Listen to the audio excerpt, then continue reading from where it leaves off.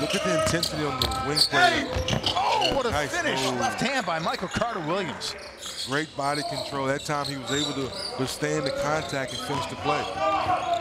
Very Left hand. Very nice. Carter Williams up full court. Oh, oh, that's what we're talking about, Vince. Leave the referees alone. Go play the game. Excellent move, excellent concentration. Play through the contact, finish the play. Carter is in. Carter Williams in double figures now. And the defense. Carter Williams takes it away. And lays it up and in. Took it right out of Smith's hands and took it to the basket. Great instincts. No communication from the Rockets that time. Big time steal.